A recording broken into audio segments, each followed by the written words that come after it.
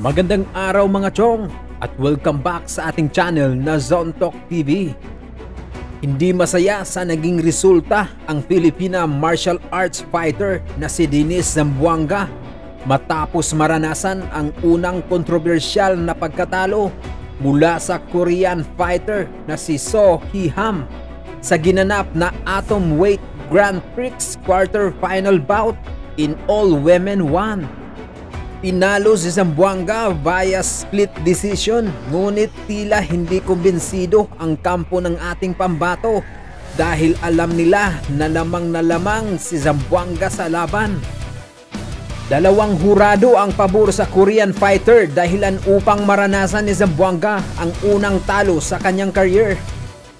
Sa sobrang pagkadismaya, nag-request si Zamboanga na ipa-review ang naging laban nila upang malaman at makita kung sino talaga ang tunay na nanalo sa laban. I respectfully request one to review the result for the sake of the integrity of the Grand Prix. Sa kanyang post sa Instagram, dagdag pa ni Denise, I out-wrestled her, out-grappled her, took her down and beat on her.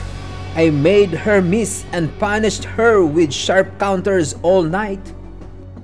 Sumagot naman ang One Chef Executive Officer na si Chatri Sityodtong sa FB account ng One Championship na ang laban nila ay under formal review na ngayon.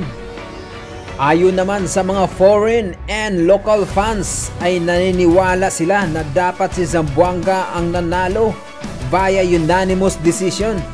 Ngunit may iilan din ang nagsabi na dapat mag-rematch na lang sila upang malaman talaga kung sino ang nanalo at tanggapin na lang ni Denise ang unang pagkatalo.